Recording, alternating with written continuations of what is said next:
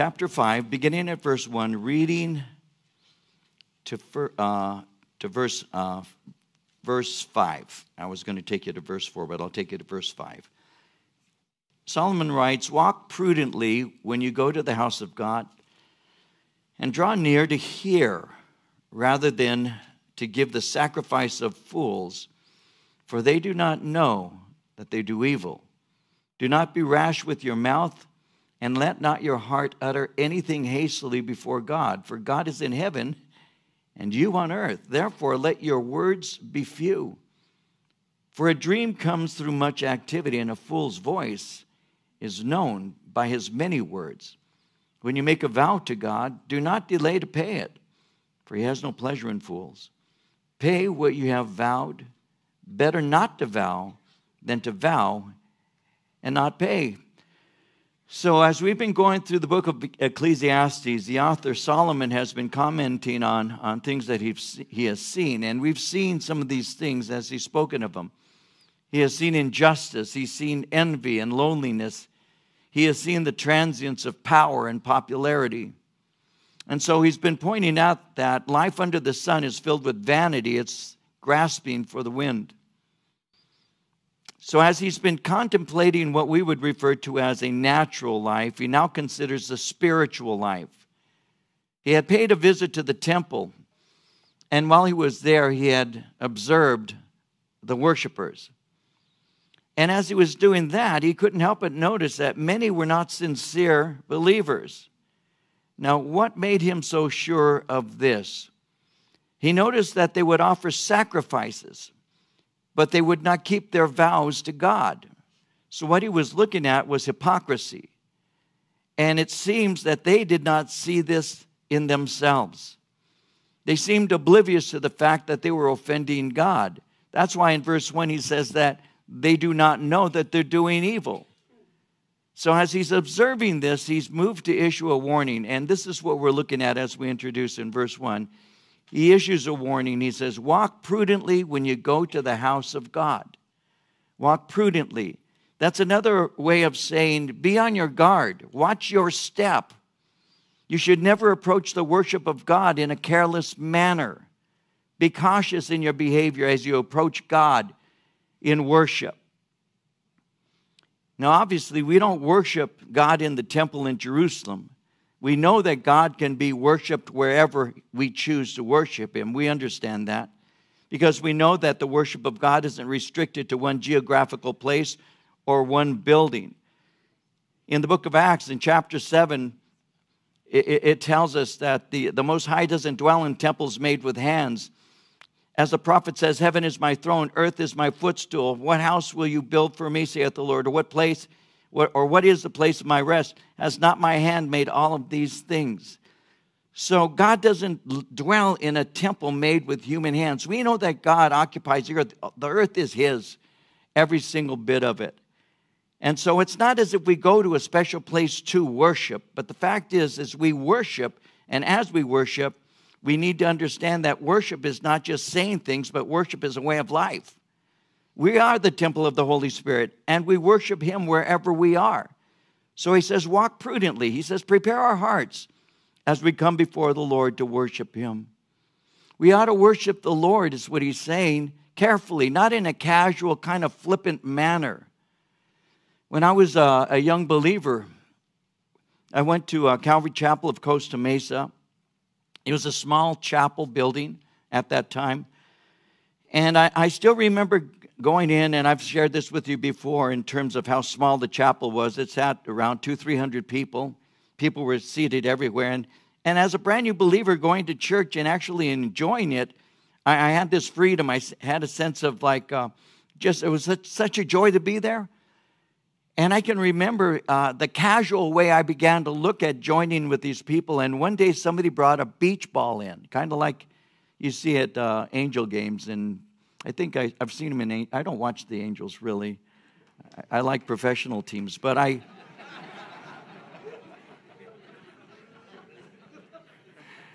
Bang. But you know how they they did it in church. And I'm sitting there and someone had brought in a beach ball and they hit it and they were bouncing it around the pews. I didn't think anything of it. I thought, wow, this is freedom. You know, they're not restricted, they're not stuffy.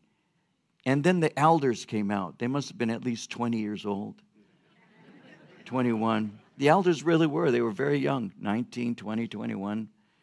And they came walking out, and one of them took the, the beach ball, and I'm, I'm watching what he's doing. I'm a brand new believer.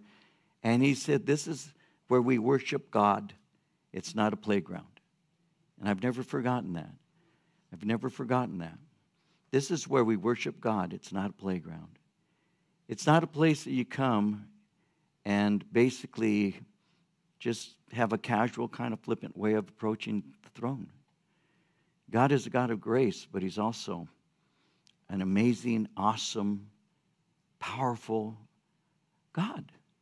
And, and if there's anything that I've uh, bemoaned over the years, it's been as I've looked upon much of the church world, I've had plenty of time to do so now. There seems to be a lack of reverence sometimes. As a matter of fact, often. And sometimes, and I've seen photos, some of you have, I've seen videos of um, of the different kind of what they call worship services today.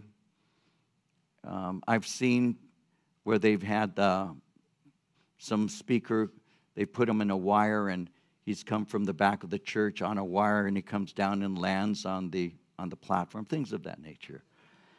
And it's like a, uh, a circus and it becomes entertainment. We have to guard our hearts.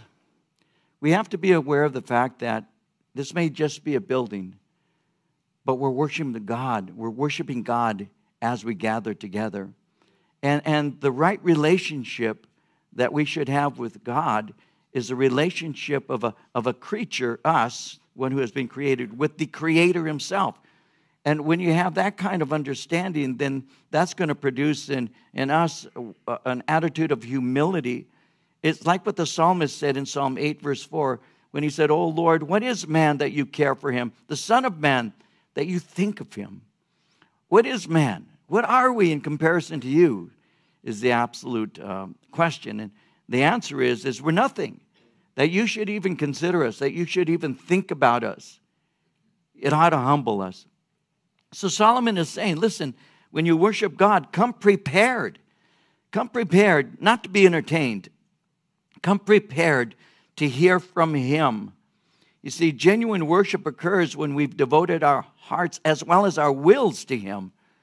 And that, that will happen when we take the time to prepare to meet Him in worship. And so I made a note, I, will just share it with you. I, I'd encourage us all to resist rushing around as we get ready to go to church.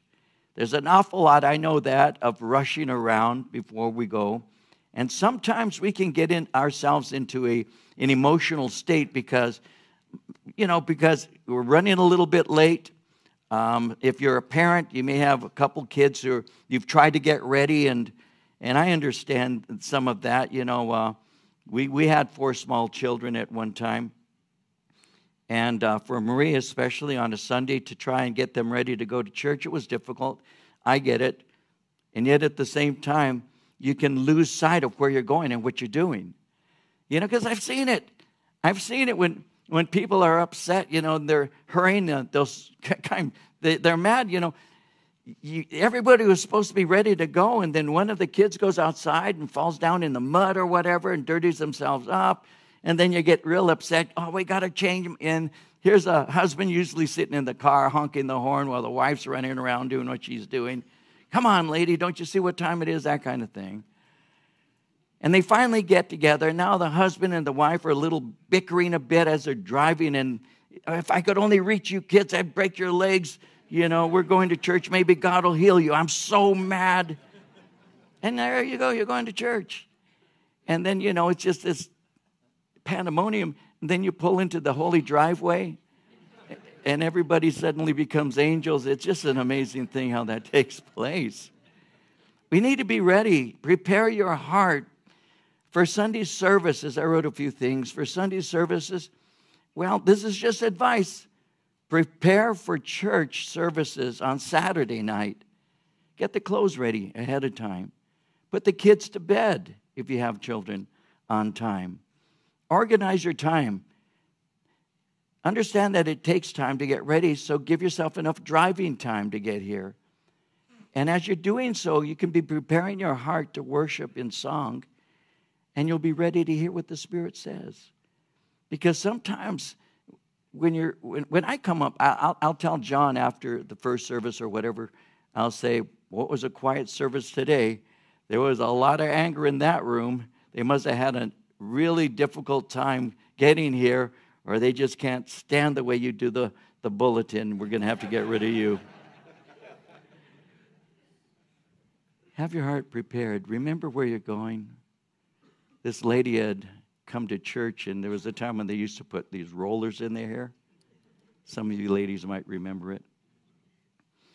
And somebody asked, why, do you, why did you come to church with these rollers in your hair?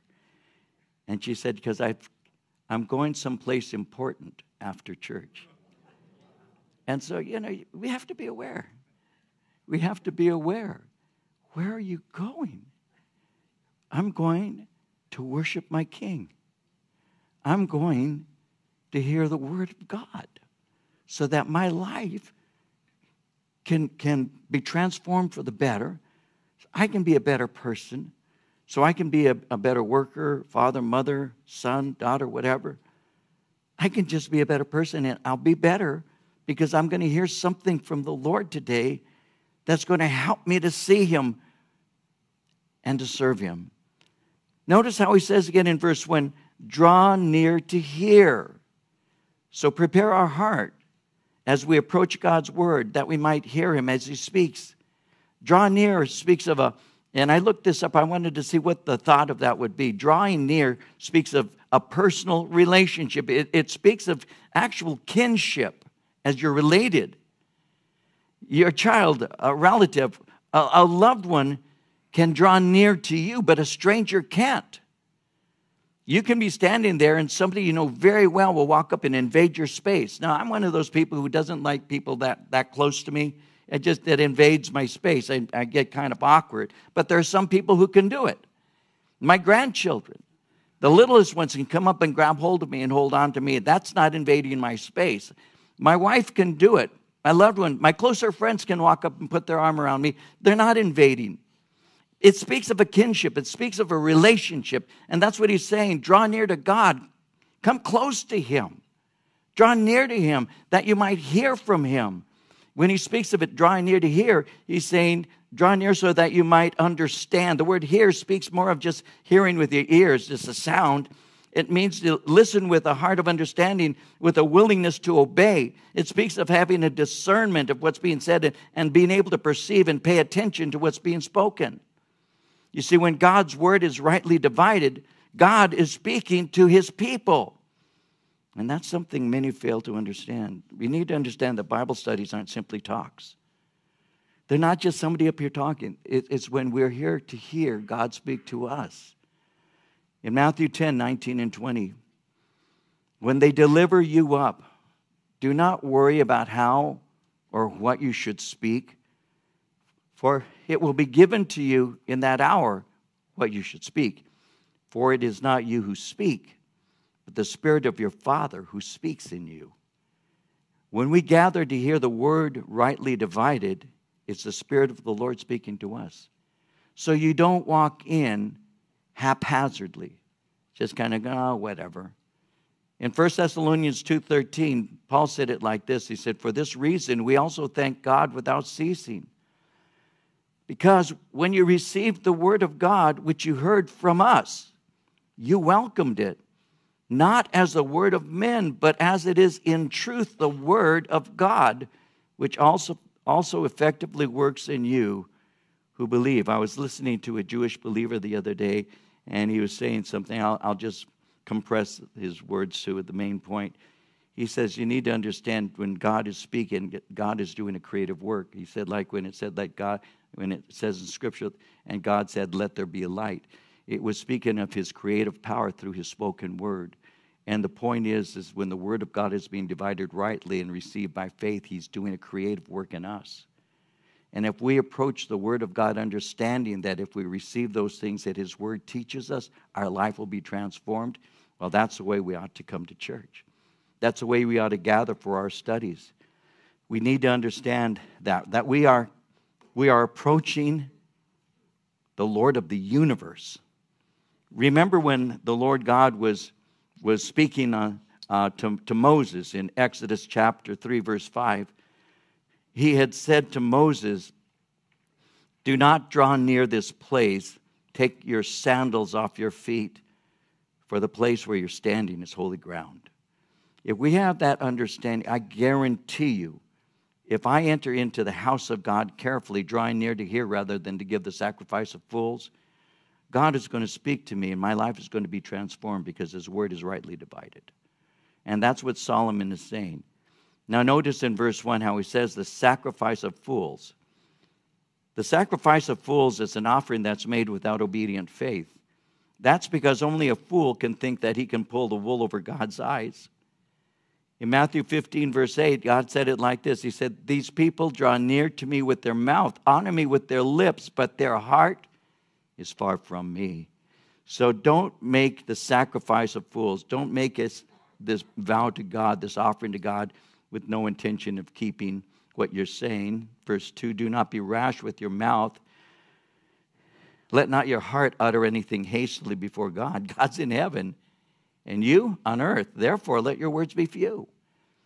And so, do not be quick to speculate about heavenly things. Don't be an armchair theologian. Uh, all of us have friends who know more than the manager or the coach on the team when we're watching a game. Oh, he should have done this and they should have done that. They're armchair, armchair quarterbacks. We all have been that, or we all have friends who are. Well, there are armchair theologians too. You know, and every once in a while I, I have met one or two. You know, you should used this scripture when you said that there. You know, they're, they're not listening to the study, they're correcting it. And so some people think themselves to be theologically deep, but they're speaking wrongly in the name of God. They speculate concerning heavenly things. They try to explain God to people, and, and it reveals very often that they have a zeal, but they're still in need of maturity. So don't be rash with your mouth and let not your heart utter anything hastily before God. There needs to be an attitude of humility. As we're going through the book of Acts, we're ultimately going to come to chapter 18, and we're going to read about a man named Apollos. Apollos is a young Christian when we're introduced to him in uh, chapter 18, verses 24 through 26. And when you read those verses, and I'll just gel them for you, he's described in a certain way. Apollos, this young Christian, is described as eloquent, He's mighty in Scripture. He's instructed in the way of the Lord. He's careful to teach accurately, and he's bold. But he only knows the baptism of John. So there are two older believers who are there listening to him as he's sharing. And Aquila and his wife Priscilla take him aside and they explain the way of God to him more accurately. And the Bible tells us that he received from them. There are some young people who are very eloquent, very energetic, very filled with ideas and zeal. And, and their, their passion is something that rubs off on people. But unfortunately, they're not, they're not solid in God's word. So the people get hooked on, their, on the passion. But what's being said isn't correct. And you ought to see it when they're corrected. Because there have been times when I, as an older believer, have said, you know, that's a very zealous statement, but you need to realize that it was biblically incorrect. What are you talking about? I've got all these people, etc., etc. They love me. Well, the bottom line is, is we need more people like Apollos who are aware of what they're saying so that they can learn from, the, from those who have been there before. We need to remember that when we speak for God, it is a great responsibility. In the book of Isaiah, chapter 6, verse 5, Isaiah said this Woe is me, for I'm undone. I'm a man of unclean lips. I dwell in the midst of people of unclean lips, for my eyes have seen the King, the Lord of hosts. I'm a man of unclean lips. There are those I heard, I've heard people say, yeah, Isaiah had a profanity problem. He was a cussing prophet. No, that's not what he's saying. What Isaiah was saying is the things I say of God haven't been right, haven't been thoroughly correct. Not that they're filled with error, but I have developed even a greater understanding of who He is by my confrontation with Him. And I realize that the half of what I'm saying does not give Him honor. It didn't give Him the glory He should have had. So he wasn't a man who was filled with profanity. He was a man who was awakened to humility. In Job 38, verses 1 and 2, it says that the Lord answered Job out of the whirlwind, and he said, Who is this who darkens counsel by words without knowledge? And that's one of the more powerful portions of the book of Job to me. It's when the Lord reveals himself to a man who, in the first chapter, is stated to have been a man who is. Uh, uh, by God Himself stating concerning this man that he is a righteous man, that there's nobody like him. And yet, you see all the way into the 38th chapter, after Job goes through all those things that he goes through, that Job ultimately says, I, I've heard of you with the hearing of my ear, but now I see you with the seeing of my eye.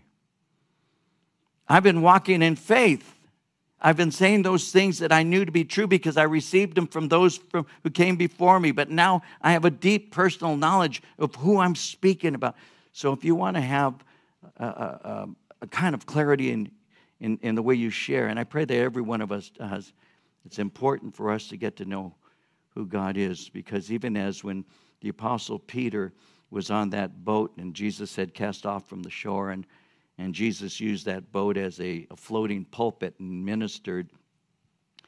And he turned to uh, the apostle and, and told him to cast out and drop his nets, and you'll get a large catch of fish. And we remember the story how that the apostle Peter said, We fished all night, we got nothing. In other words, I'm a fisherman and you're a preacher. What do preachers know about the real world? You know, you should stick talking to people's spiritual lives and let me do the fishing. That's, that's inherent in what he's saying. He says, But nevertheless, at your word. And that's when he drops the net, and they catch so many fish that the net begins to break. And then Peter's words were the wisest when he said, Depart from me, I'm a wicked man. Because when you draw close to God, you see yourself for who you are. And when you see yourself for who you are, then you abhor yourself you see yourself for being less than you thought you were. That produces real humility because everybody looks beautiful at three o'clock in the morning with the lights off. But when you turn the lights on and you see yourself for what you really look like, the more the light, the uglier we are. The closer you draw to the Lord, the more of yourself you see. And it's not pretty. That's why we say, God, be merciful to me. I'm a sinner. I don't want to speak in ways that do not give honor to you. Somebody once said, Those whose thoughts have their origin in this world cannot speak about God without error. He says in verse 3 A dream comes through much activity. A fool's voice is known by his many words. Our lives can be so busy that when we dream, our dreams can be confusing. So, our prayers can also be filled with confusion with many words. In other words, we don't know what to pray for, so we pray for whatever is on our mind. So he's saying, even when you're praying, be very aware of what you're saying. Bring your petitions to God with few words. They'll be fervent but they can be few. Why is that? Well, Matthew 6, verses 6 and 7, Jesus said, When you pray, go into your room. When you've shut the door, pray to your Father who's in the secret place. And your Father who sees in secret will reward you openly. And when you pray, do not use vain repetitions as the heathen do, for they think that they will be heard for their many words. God already knows what I need. And I simply should approach him as a father who would know. Now he goes on in verse 4 when you make a vow to God, don't delay to pay it. He has no pleasure in fools. Pay what you vowed. Better not to vow than to vow and not pay. Verse 6 Do not let your mouth cause your flesh to sin, nor say uh, before the messenger of God that it was an error. Why should God be angry at your excuse and destroy the work of your hand. For in the multitude of dreams and many words, there's also vanity. Fear God. And so, making a vow to God, when he says, when you make your vow to God, that's making a promise, that's making an oath. Now, in the Old Testament, promises were not required, but when they were made, they were to be honored. In uh, Numbers 30, verse 2, it says, If a man makes a vow to the Lord or swears an oath to bind himself by some agreement, he shall not break his word. He shall do according to all that proceeds out of his mouth. So he's saying, Do not make promises to God that you do not intend to keep and delaying to pay it. When he says in verse 6, Don't let your mouth cause your flesh to sin, well, these are those who are making promises, but they're trying to bribe him to get him to do something. And when he speaks of the messenger, that's the priest. When he comes to collect that which was promised, don't be telling him, Oh, I, I rashly said that. I made a mistake and I really wasn't going to give him that. Verse 7 says, In the multitude of dreams and many words, there's also vanity. Fear God. Now, most dreams are insignificant. I have the weirdest dreams. I bore my wife with them all the time. I just wait for her to wake up and I'll say, This is the craziest thing happened to me last night. And uh, she can't get away from me because she's next to me, and I make sure she doesn't. Then I tell her these crazy dreams. Well, most dreams are insignificant. And the point he's making is so are vain and empty promises. So here's your answer. The answer fear God. Don't make false promises to him. It is better to not make a promise than to make one and not keep it. One of the things that we need to honor is our word. I have shared this recently, I'll say it briefly again. Uh, be a person of your word. When you, when you say you're going to do something, then do your very best, best to do it. But be very careful, Solomon would be saying, to not make rash promises to God that you don't intend to keep. In verse 8, if you see the oppression of the poor and the violent perversion of justice and righteousness in a province, do not marvel at the matter. High official watches over high official, and higher officials are over them. Moreover, the profit of the land is for all, even the king is served from the field. So he who loves silver will not be satisfied with silver, nor he who loves abundance with increase. Why? Well, this is also vanity. So Solomon in verse 8 is seeing government officials using their authority to serve themselves. It's a good thing that doesn't happen anymore. So he's saying, he's saying, don't be surprised by this because corrupt bureaucracies exist. Pecking orders still exist. People get preferential treatment because of who they are or related to all the time. And people will always dominate over those who are at the lower level. And so instead of justice, the matter will be lost in red tape as well as officials who pocket the funds.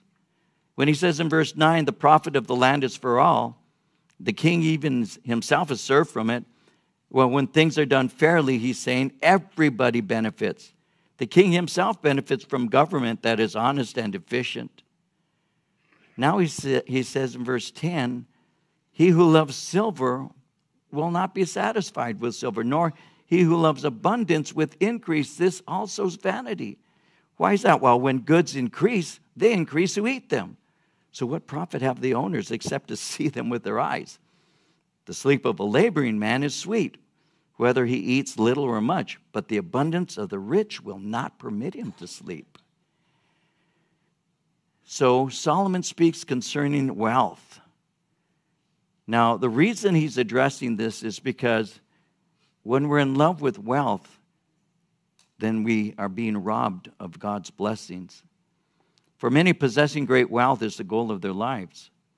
They see advantages gained by the wealth and they pursue those advantages. They'll set a goal, they'll work, they'll achieve that goal. But in pursuit of the wealth, they forget God. Why is that? Because they're driven by greed. Now, greed is an excessive desire to possess more than what you need or deserve. Someone once said, Greed is a fat demon with a small mouth. Whatever you feed it, is never enough. How much is enough? A little bit more. But you have all of that. Yeah, I do. And I'd like a little bit more. Well, what happens is when you're driven by it, you forget God. Why? Because you're pursuing gain and wealth. Solomon's already shared uh, what he would refer to as the futility of gaining wealth. He said that he had gathered silver and gold, he had gathered the special treasures of kings. And he went on to say in chapter 2, in verse 18, he said, I hated all my labor because I have to leave it all behind. All of my labors are wasted because they were lacking eternal perspective. And so he's addressing myths concerning wealth. He's addressing the myth that money can buy happiness that money can solve every problem, that money brings a complete peace of mind, and that money brings security. So he said in verse 10 the one who loves silver will never be satisfied with, with silver. In other words, money cannot buy happiness. When you have an appetite for something, you're never going to be fulfilled. When you're always looking for the wealth or the increase of your, of your revenue, that will never satisfy you. Now, I've heard people say, you know, I know that money doesn't doesn't um, you know buy happiness, but I'd like to find that out for myself. So I hope I get a whole lot of it. What happens is people can begin to not only love it, but they think about it all the time. They strive for it constantly. Ultimately, they're controlled by it, and then they guard it and their lives are driven by desire for money. And all they think about is how much more can I get? And they lose everything. At the end of the day, there are very few things that last forever. I don't know, at the risk of bumming you out, and I keep looking at the time because we're going to have communion, and I want to make sure I go through this. My, uh, let me tell you this very quickly. The one thing that lasts forever is relationship. The one thing that lasts forever is your relationship with God. And the one thing that we should pursue above all things is relationship with Him and with other people. Number one. The other day I awakened. It wasn't a dream, it was just one of those thoughts, you, those cloudy thoughts that you have sometimes when you awake as you're trying to to become oriented, to be aware of where you're at and what you have to do and what day is it that kind of thing. And this thought hit me. I hope it doesn't bum you out, but if it does, good. it made me think. I remembered something my, my mother had told me. It's funny how these things happen. My mom told me this, and I'll say this briefly. She said, Son, she said, your, your grandfather was leaving for work and he and your grandmother, my dad's mom and dad, he and your grandmother had had an argument. And so your grandfather was about to step out of the house to go to work, and he turned to give his wife, my grandmother, a goodbye kiss. He's going to work. And she said, and your grandmother turned her face away from her husband. You know, one of those things. Don't kiss me. I'm still mad at you. One of those. She said, You know what happened? I said, What? Your grandfather went to work. My grandfather worked in a, a, um, a lumber yard, a, a shop, where there was a lot of grinding and sawing, cutting of wood. And the particles, a lot of you already know this, but there's a dust that forms in there that is very flammable. It can explode. And that's what happened that day. My grandfather was enveloped in a ball of flame at work that day. He was hospitalized. My mother was six months pregnant with me. I never knew my grandfather. And she said, Your grandmother never had a chance really to kiss her husband goodbye one last time. And she said to me, Never fall prey to that kind of thing, David. And I, I awakened to remember that and the words came to my heart. One day, the last time you say goodbye will be the last time you say goodbye. Now, that's just not coming from just some old man. That's just a fact. Because if you think for a moment of some of your friends that you saw and you said, I'll see you later, and you never had a chance to see them ever again, you know exactly what I mean. Sometimes the last time you say goodbye is the last time you say goodbye. So the only things that matter are relationships. It's not the money. Money is a tool. It can even be a blessing, but it is not our goal. Our goal should be relationship. Our goal should be loving one another and doing those things. Jesus said, Watch out and be on your guard against all kinds of greed. A man's life doesn't consist in the abundance of his possessions. He says, When goods increase, verse 11, they increase who eat them. money doesn't solve every problem. We need money just to survive. But money isn't the solution to every problem I have. Solomon says the more you have, the more people are around to help you spend it. If you hit a jackpot, the IRS will help you give money to the government. And wealth helps you discover friends and relatives you didn't even know you had. They'll show up and be willing to enjoy your hospitality. That doesn't happen normally to someone with no money. Proverbs 14:20 says the poor man's hated even by his own neighbor, but the rich has many friends. So many who are wealthy never know who really loves them and who is using them. And a lot of times you see these very old men with these very young women, and I know that's true love.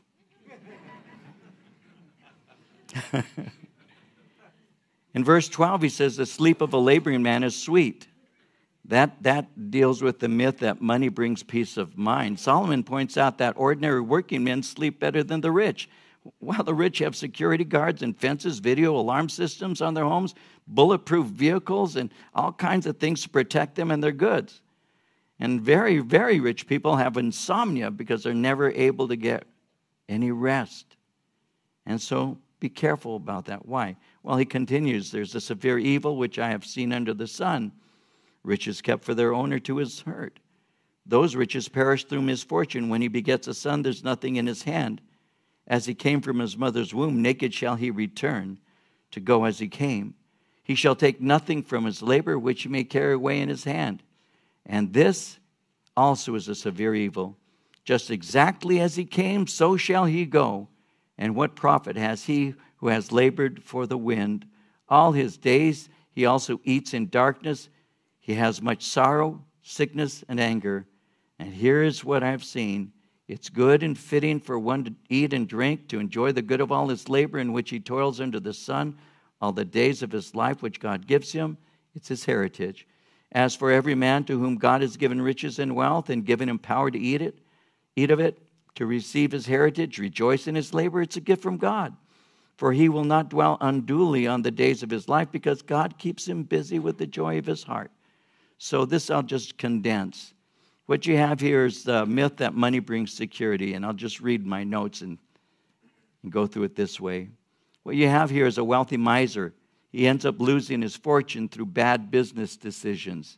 He thought that all of his problems would be solved when he became rich, yet through poor money management, he ended up with nothing to leave behind. So, afraid of letting his money work for him, he became a miser and he lost it all. In the end, he was back where he started from, having nothing to leave for a son. He trusted in his riches and he was let down.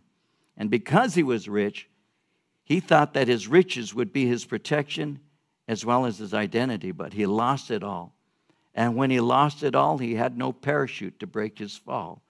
And verse 17 tells us he ends his days in sorrow, sickness, and anger. Why is that? Well, ultimately, we die and take nothing with us but we do end up giving an account to the Lord. Proverbs 22, verse 2 says, The rich and the poor have this in common. The Lord is the maker of them all. And so he concludes in verses 18 following this is what I've seen. It's fitting to work faithfully, to enjoy the good things of life, and to see it as a blessing. God will take care of him. A person rejoicing in God's blessings won't have regrets. Why is that? Well, he has learned where to put his trust. And because of it, he's blessed. It's like what Paul said in 1 Timothy 6, verse 17 Command those who are rich in this present age not to be haughty, nor to trust in uncertain riches, but in the living God who gives us richly all things to enjoy. If the Lord has blessed you with finances, He's saying enjoy them, but don't forget the God who blessed you. Don't begin to trust in those things. I am telling you, uh, beyond a shadow of a doubt, that it's absolutely true. Many a person who began saying, God, I just want you to bless my hands so that I can do things for you, has been blessed so much that ultimately they, they forget who's the one who's blessing them. I remember J. Vernon McGee saying something, and I'll close with this how that a man had approached, I believe it was J. Vernon, a man had approached him and said to him, um, Dr. McGee, I, I, I need you to help me. I made an oath to God, and, and I, I want you to give me a way to get out of it. And, and J. Vernon McGee said to him, What was the oath? He said, Well, I told God that if he, if he blessed my hands, I would give him 10% of everything I made in my business. He said, and I faithfully did that. He said, the problem is, is my business has grown so much I can't afford to give 10% anymore. So I'm asking, is there a way for me to no longer give to him 10%? And J. Vernon said, Well, no, I can't, I can't uh, give you a way to get out of keeping the promise you made to God, but I can do this. I can pray that God will break you to the point where you're so poor you can afford to give to God what you promised Him. So we have to be very careful. It's a good thing that the Lord can bless us, and indeed He does. But, but the things that we have are never to take the place of our trust in Him. Solomon said, This is something I've learned. To work hard, to be able to labor and sleep in peace is a good thing. But, but when you have so much money that all you do is have insomnia over it, you've missed the boat. You've missed on what is really the most important thing.